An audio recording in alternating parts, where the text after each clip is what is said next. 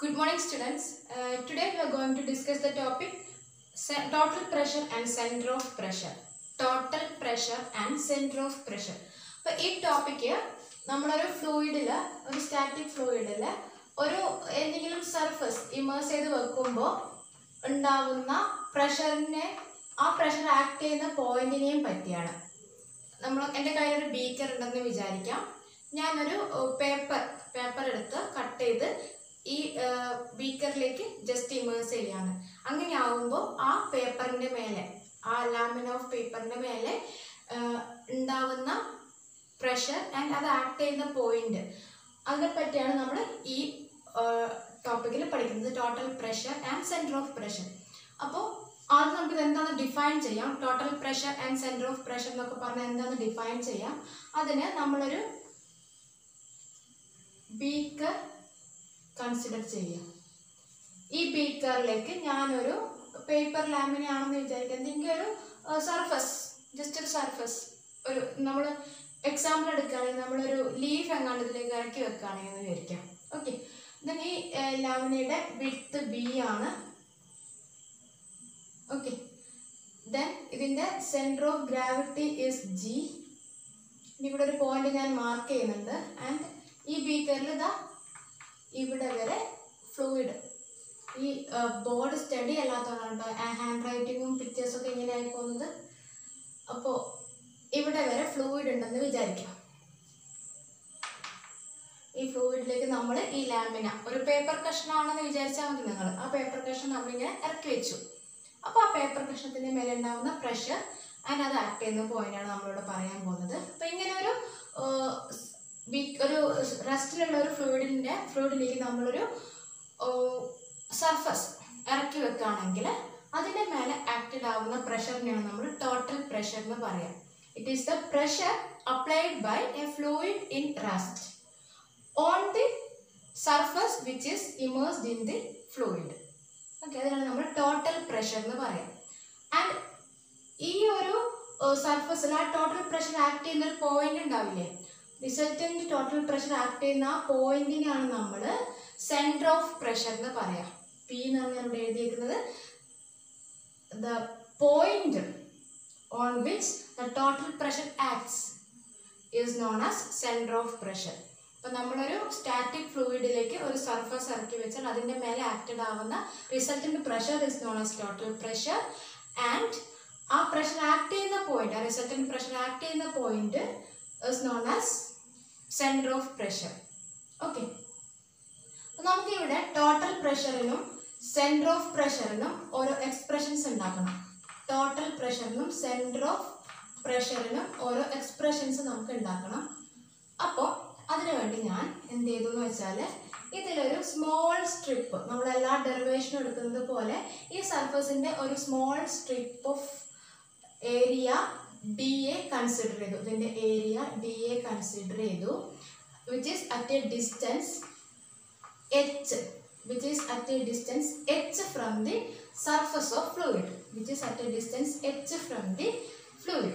ഇനി നമ്മളിതിൽ രണ്ട് പോയിന്റ്സ് മാർക്ക് ചെയ്യാണ്. The centre of gravity of this lamina is at a distance H bar from the surface of fluid and center of pressure P is at a distance H star. H star എന്നാണ് നമ്മൾ centre of പ്രഷറിന് indicate H star from the surface of fluid അപ്പോൾ നമ്മൾ ഇതിന് മൂന്ന് കാര്യങ്ങളാണ് ഡെറിവേഷനിൽ ആദ്യം പറയുന്നത് നമ്മളൊരു ഈ പ്ലെയിൻ ലാമിനിൽ നമ്മളൊരു strip of strip of area D A consider ചെയ്തു. ആ സ്ട്രിപ്പ് നമ്മൾ അതിന്റെ ഡിസ്റ്റൻസ് എച്ച് ആണ് കൺസിഡർ ചെയ്തത്. ആൻഡ് അതിന്റെ ഇടയ്ക്ക് തന്നെ നമ്മൾ പറഞ്ഞു centre of gravity of this lamina is at a distance H bar from the surface and centre of pressure is at a distance H star നമുക്ക് കണ്ടുപിടിക്കേണ്ടത് ഈ ടോട്ടൽ പ്രഷറിന്റെ എക്സ്പ്രഷനും ഈ എച്ച് സ്റ്റാറിന്റെ എക്സ്പ്രഷനുമാണ് അപ്പോൾ നമ്മൾ ആദ്യം ടോട്ടൽ പ്രഷറിനുള്ള എക്സ്പ്രഷനാണ് കണ്ടുപിടിക്കുന്നത് ടോട്ടൽ പ്രഷറിനുള്ള എക്സ്പ്രഷൻ കണ്ടുപിടിക്കണമെങ്കിൽ നമുക്കറിയാം ഒരു ഫ്ലൂയിഡിൽ at a distance H at a distance H ഉണ്ടാകുന്ന pressure is rho G H അപ്പോൾ നമ്മൾ നമ്മൾ കൺസിഡർ ചെയ്യുന്ന strip of area D A is at distance H from the surface of fluid അങ്ങനെ ഈ ഡി എന്റെ മുകളിൽ ഉണ്ടാകുന്ന പ്രഷർ പി എത്രയായിരിക്കും? P is equal to rho G into H ആയിരിക്കും. Rho G into H okay pressure rho G into H ആണെങ്കിൽ pressure force F എന്തായിരിക്കും? Pressure is equal to force by area ആണ്. അപ്പോൾ pressure force A F is equal to pressure into area അപ്പോൾ pressure rho G H into area is D A D ഞാൻ pressure is equal to rho G H എഴുതി അതിൽ നിന്ന് pressure force F is equal to E P into A that is rho G H into area of strip area of strip is D A ഇനി ഈ strip നിങ്ങൾ നോക്കാം. Strip നോക്കുമ്പോൾ ഇതിന്റെ width B ആണ്. ആൻഡ് ഇതിന്റെ ഡെപ്ത് ഡി എച്ച് ആണെന്ന് വിചാരിക്കാം. ഓക്കെ ഡെപ്ത് ഡി എച്ച് ആണെങ്കിൽ area D A is equal to B into D H ആണ്. അപ്പോൾ F is equal to rho D F എഴുതുന്നത് ഡി എഫ് ആ സ്മോൾ സ്ട്രിപ്പിന്റെ മേലെയുള്ള ഫോഴ്സ് അപ്പോൾ ഡി എഫ് എഴുതിയാൽ D F is equal to rho G H into D A D A നമുക്ക് എന്ത് എഴുതാം? വിഡ്ത്ത് ഇന്റു ഡെപ്ത് എന്ന് എഴുതാം. Rho G H into B into D H എന്ന് എഴുതാം. Rho G H into B into D H എന്ന് എഴുതാം. Okay അപ്പൊ ഇതൊരു സ്മോൾ സ്ട്രിപ്പിന്റെ മേലെ ഫോഴ്സ് ആണ് നമ്മൾ ഈ കണ്ടുപിടിച്ചത്. അപ്പൊ എന്റെ സ്ട്രിപ്പിന്റെ മുകളിൽ ഉണ്ടാകുന്ന ഫോഴ്സ് എങ്ങനെ കണ്ടുപിടിക്കും നമ്മൾ പ്രഷർ ഫോഴ്സ് എന്റെ സ്ട്രിപ്പിന്റെ മേലെ ഉണ്ടാകുന്ന ഫോഴ്സ് കാണണമെങ്കിൽ നമ്മൾ ഇതിനെ ഇന്റഗ്രേറ്റ് ചെയ്യുക. D F is equal to റോയും G ഒക്കെ കോൺസ്റ്റന്റ് ആണ്. Rho G integral B into H into D H okay B into H into D H okay അപ്പൊ ബി ഇന്റു ഡി എച്ചിനെ നമ്മൾ നേരത്തെ ഇവിടുന്ന് എഴുതിയാൽ മതിയായിരുന്നു. കുഴപ്പമില്ല. Rho G into integral B into D എച്ചിനെ ഞാൻ വീണ്ടും ഡി എ എന്ന് എഴുതാണ് ഡി എ ഇന്റു എച്ച് എന്ന് എഴുതാണ് okay D A into H എന്ന് പറഞ്ഞാൽ എന്താ? ഡി എ ഇന്റു എച്ച് എന്ന് പറഞ്ഞാൽ of area with respect to surface of moment of this area D A with respect to surface of fluid അല്ലേ? Moment of area with respect to surface of fluid ആണ്. എന്നാണ് എഴുതണം അവിടെ? D A into X എന്ന് പറഞ്ഞാൽ the moment of area D A moment of area D A with respect to surface with respect to surface ആണ് D A into H എന്ന് പറഞ്ഞാൽ with respect to surface അല്ലേ? And it is equal to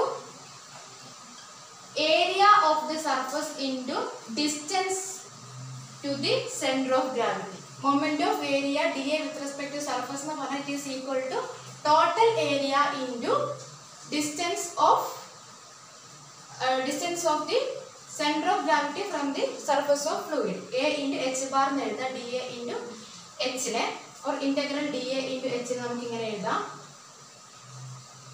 Integral D A into H നമുക്ക് ഇങ്ങനെ എഴുതാം. അപ്പോൾ നമ്മൾ integral D F S ഞാൻ മായ്ക്കുകയാണേ നമുക്ക് ഈ ഇക്വേഷൻ മാറ്റി എഴുതാം. Integral d of s f is equal to rho g into integral dA into h where integral dA into h is area of the total surface into distance to the center of gravity that is rho g into a h bar ഇതാണ് total പ്രഷറിന്റെ expression വരിക F is equal to rho G into A H bar നമ്മൾ ചെയ്തത് ഒരു small strip of area D A consider ചെയ്തു. Then ആ സ്ട്രിപ്പിന്റെ മേലെ ഉണ്ടാവുന്ന പ്രഷറിന്റെ എക്സ്പ്രഷൻ എഴുതി റോജി ഇന്റു എച്ച് എന്ന് എഴുതി. ഇനി അതേപോലെ ഇങ്ങനെയുള്ള എല്ലാ സ്ട്രിപ്പിന്റെയും എല്ലാ സ്ട്രിപ്പിന്റെ മേലെ ഉണ്ടാവുന്ന പ്രഷറിന്റെ സമ്മിനാണ് നമ്മൾ ടോട്ടൽ പ്രഷർ എന്ന് പറയുന്നത്. അപ്പൊ അത് കിട്ടാൻ വേണ്ടി നമ്മൾ എന്ത് ചെയ്തു? ഈ സ്മോൾ സ്ട്രിപ്പിന്റെ മേലെ ഉണ്ടാകുന്ന ഫോഴ്സിനെ ഇന്റഗ്രേറ്റ് ചെയ്തു. ഇന്റഗ്രേറ്റ് ചെയ്തപ്പോൾ നമുക്ക് ഇങ്ങനെ ഇവിടെ D A into H integral D A into H എന്നൊരു എക്സ്പ്രഷൻ വന്നു. ആ integral D A into H എന്ന് പറഞ്ഞാൽ എന്താ? ഡി എ ഇന്റു എച്ച് എന്ന് പറഞ്ഞാൽ ഈ ഏരിയയുടെ moment about surface of fluid okay and അതെന്തിന് equivalent ആണ്? ഈ ടോട്ടൽ ഏരിയയുടെ moment with respect to centre of ഗ്രാവിറ്റിക്ക് equivalent ആണ്. ആൻഡ് അതിന് നമ്മൾ എ ഇന്റു എച്ച് ബാർ എന്ന് എഴുതി ഇവർ H bar is the distance from the fluid surface to the centre of gravity എഴുതിയാൽ നമുക്ക് F is equal to rho G into A H bar എന്ന് കിട്ടും. അപ്പോൾ ഇതാണ് ടോട്ടൽ പ്രഷറിന്റെ എക്സ്പ്രഷൻ ഓക്കെ ഇനി നമുക്ക് എച്ച് ബാറിന്റെ എക്സ്പ്രഷനാണ് വേണ്ടത്. നമുക്ക് എന്ത് ചെയ്യാം? എച്ച് സ്റ്റാറിനുള്ള എക്സ്പ്രഷൻ കാണാൻ പോവാണ്. അപ്പോൾ എച്ച് സ്റ്റാറിന്റെ എക്സ്പ്രഷൻ കാണാൻ പോകുമ്പോൾ കൺസെപ്റ്റ് എന്താണെന്ന് വെച്ചാൽ നമ്മളിപ്പോൾ കണ്ടുപിടിച്ച എഫ് ഇല്ലേ? എഫ് ആക്ട് ചെയ്യുന്ന പോയിന്റ് ഏതാണ് ഈ പി ആണ്. ടോട്ടൽ പ്രഷർ ആക്ട് ചെയ്യാൻ ആക്ട് ചെയ്യുന്ന പോയിന്റിന്റെ പേര് പി ആണ്. അപ്പൊ നമ്മളിവിടെ യൂസ് ചെയ്യുന്ന കൺസെപ്റ്റ് എന്താണെന്ന് വെച്ചാൽ moment of force about the moment of total pressure about the free surface of liquid is equal to sum of moments of all the forces acting in the surface about the free surface അതായത് ഈ total പ്രഷറിന്റെ moment about the surface അത് എന്തിന് equivalent ഇങ്ങനെ നമ്മൾ എടുക്കുന്ന ഓരോ small സ്ട്രിപ്പിന്റെ മൊമെന്റ് അബൌട്ട് ദ സർഫസിന് സം ചെയ്താലുള്ള മൊമെന്റിന് ഈക്വൽ ആണ്. പറഞ്ഞുതരാം. അപ്പോൾ total പ്രഷറിന്റെ moment moment of total pressure about moment of total pressure moment of total pressure total pressure എന്ന് പറഞ്ഞാൽ എന്താ? Total pressure is F it is the force excited by the fluid on the entire surface of the lamina moment and it is acted upon the point p and moment of total pressure f about free surface of about free surface of liquid is equal to act ചെയ്യുന്നത് F എന്ന് പറയുന്ന point ആണ് അപ്പോൾ ഫോഴ്സിന്റെ magnitude F force into distance ആണ് moment വരിക. Force act ചെയ്യുന്നത് ഈ പിയിലാണ് അതിൽ നിന്ന് ഫ്രീ സർഫസിലേക്കുള്ള ഡിസ്റ്റൻസ് എന്ന് പറഞ്ഞാൽ എച്ച് സ്റ്റാർ ആണ്. അപ്പോൾ ഫോഴ്സ് ഇന്റു എച്ച് സ്റ്റാർ ആയിരിക്കും നമ്മുടെ moment of total pressure F about free surface നിങ്ങൾക്ക് ഈ മൊമെന്റ് ഒക്കെ എഞ്ചിനീയറിംഗ് മെക്കാനിക്സിൽ പരിചയമുണ്ടെന്നാണ് ഞാൻ വിചാരിക്കുന്നത്. മൊമെന്റ് എന്ന് പറയുന്നത് മൊമെന്റ് ഓഫ് എനി ഫോഴ്സ് എന്ന് പറഞ്ഞാൽ ആ ഫോഴ്സ് ഇന്റു നമ്മൾ ഏത് പോയിന്റിലേക്കാണോ ആ മൊമെന്റ് എടുക്കുന്നത് ആ പോയിന്റിലേക്കുള്ള ഡിസ്റ്റൻസ് ആണ്.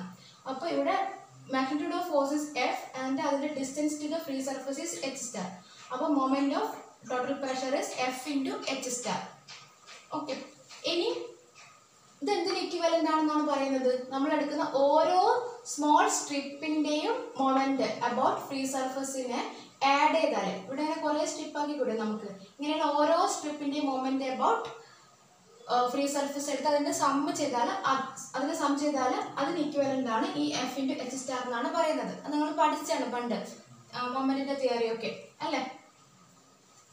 അപ്പോൾ നമ്മൾ അടുത്തത് എഴുതുന്നത് moment of moment of small strip of area D A with respect to free surface moment of small area D A with respect to free surface എന്നാണ്. And it is equal to അവിടെ ഉണ്ടാവുന്ന force D F ആണെങ്കിൽ it into D F into H ആണ് വരിക. And D എഫിന്റെ equation എന്താ വരിക?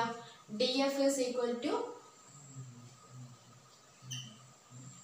rho G into H into D A ആണ് ഡി എഫ് നമ്മൾ നേരത്തെ ചെയ്യുമ്പോൾ കിട്ടിയത് rho G into H into D A എന്നാണ് നമുക്ക് ഡി എഫ് കിട്ടിയത് ഇന്റു എച്ച് എന്ന് വരും.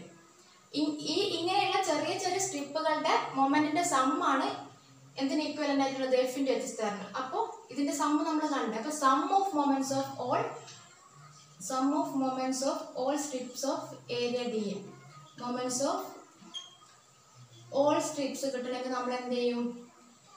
ഇതിനെ ഇന്റഗ്രേറ്റ് ചെയ്യും. Integral integral rho G H square into D A എന്ന് വരും.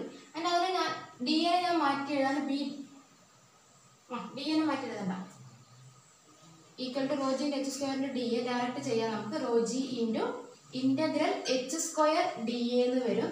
H square D A is the നമ്മൾ നേരത്തെ പറഞ്ഞ H square D A is the where H square D എന്ന് പറഞ്ഞാൽ എന്താ? H square D integral H square D എന്ന് പറഞ്ഞാൽ it is the moment of ഇനേഷ്യ M I എന്ന് എഴുതുന്നത് moment of ഇനേഷ്യ of the strip D A about free surface of liquid about free surface of liquid അത് അങ്ങനെ തന്നെ അന്ന് പഠിച്ചാൽ മതി. നിങ്ങൾ എഞ്ചിനീയറിംഗ് മെക്കാനിക്സിൽ പഠിച്ചതാണ് ഫ്രീ സർഫസ് ഓഫ് ലിക്വിഡ് അത് നമ്മൾ ഇൻഡിക്കേറ്റ് ചെയ്യുന്ന ലെറ്റർ ഐ നോട്ട് എന്നാണ്.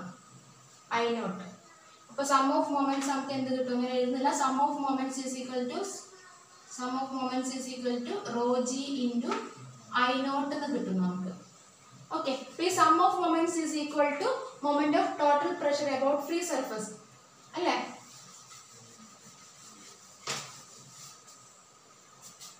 നമുക്കിവിടെ എഴുതാം.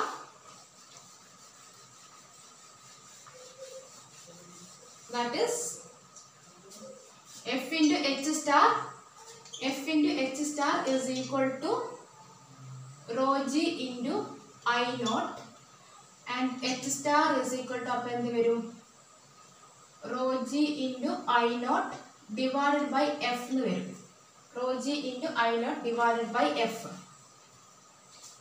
rho g into i naught divided by f എന്ന് വരും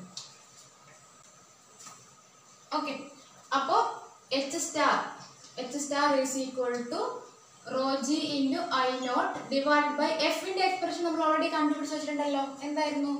Rho G into A H bar അപ്പോൾ ഈ rho G rho G cancelled ആയി H star is equal to I naught divide by A H bar I naught divide by A H bar എന്നാണ് എച്ച് സ്റ്റാറിന്റെ expression പക്ഷേ ഈ ഐനോട്ട് not നമ്മൾ എപ്പോഴെങ്കിലും ഒക്കെ ഒരു സർഫസ് നമുക്കൊരു റെക്ടാങ്കുലർ സർഫസ് ആണെങ്കിൽ അതിന്റെ moment with respect to total free surface of water ഒക്കെ ഓർത്ത് വെക്കോ ഇല്ല.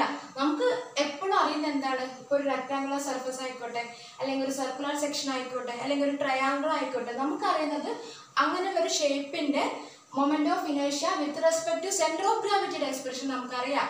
അല്ലേ? നമ്മൾ റെക്ടാംഗിളിന്റെ ആണെങ്കിൽ പി ഡി എന്നൊക്കെ പറയും. സർക്കുലർ ആണെങ്കിൽ pi by sixty four D raise to four ആണ്. അങ്ങനെ നമുക്ക് ഓരോ സർഫസിന്റെയും ഷേപ്പ് അനുസരിച്ച് അതിന്റെ മൊമെന്റ് ഓഫ് ഇനേഷ്യ അബൌട്ട് സെന്റർ ഓഫ് ഗ്രാവിറ്റി നമുക്ക് എക്സ്പ്രഷൻ അറിയാം. പക്ഷേ ആ സർഫസിന്റെ സെന്റർ ഓഫ് മൊമെന്റ് ഓഫ് ഇനേഷ്യ അബൌട്ട് ഫ്രീ സർഫസ് നമുക്ക് അറിയില്ല. അത് നമ്മൾ കാൽക്കുലേറ്റ് ചെയ്യേണ്ടി വരും.